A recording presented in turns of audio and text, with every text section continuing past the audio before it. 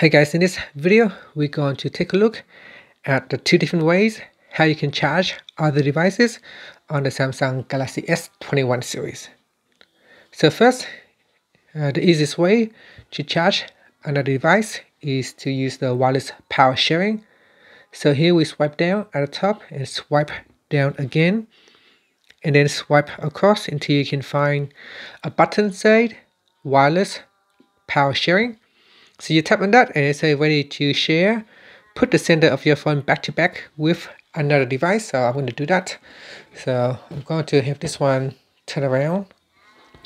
And here I'm going to put it back to back like that. Now if it does not charge, you may want to check your phone over here because this is locked. So I'm going to unlock it again. Mean, I'm going to put it back again and you can see here immediately it will start to charge my iPhone right now. So you can just place it on a table and let it charge. So that is one of the way. So here I can try it again with this device.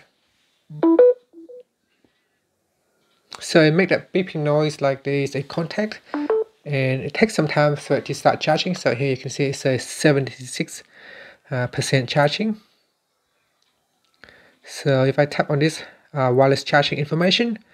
It is saying that approximately 52 minutes until fully charged. So at 76%, 76%, I have to wait for 52 minutes. So that is the first method to uh, charge another device. Now another method is to use a um, cable. So here I've got a USB-C to USB-C cable.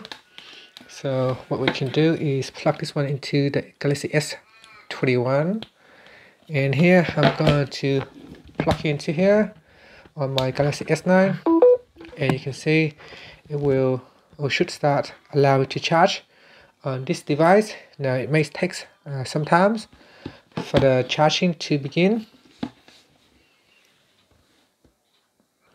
Okay so if this device is not showing a charging icon you might want to double check to see which device is charging which. So you can see over here this one here has a charging icon and this one here is not. That means this phone is actually charging this uh, Galaxy S21 so if that is the case if that is what happening to you what you want to do is go to your device that you need that you need to charge swipe down and swipe down again. In here you want to tap on the charging connected device via USB tap on that to expand and then tap on it to uh, view more option and then tap on USB control by. This phone choose the option. And now you can see on this device the charging icon now changes. So if I bring it close closer you can see this phone now is the Galaxy S21 Ultra is charging my Galaxy S9 Plus. So there is a charge icon right there. And if I swipe down at the top I can see it's a cable charging 1 hour and 42 minutes until it is charged. So by using the cable, actually it's taking more time to charge up uh, this Galaxy S9 by the, uh, the by the estimate on the inf information display right here. And that's it. So that is how you can charge it. Now, if you happen to need to use the cable to charge up your iPhone, then there is an adapter. Now, this adapter does not come with your Galaxy S21, but I got this one on the previous model now I guess you could purchase this online or perhaps you need to have a, the correct cable. So this adapter here basically I can plug it into my Galaxy S21 and then I will use this standard cable here lightning cable and I plug into my S21 uh, adapter.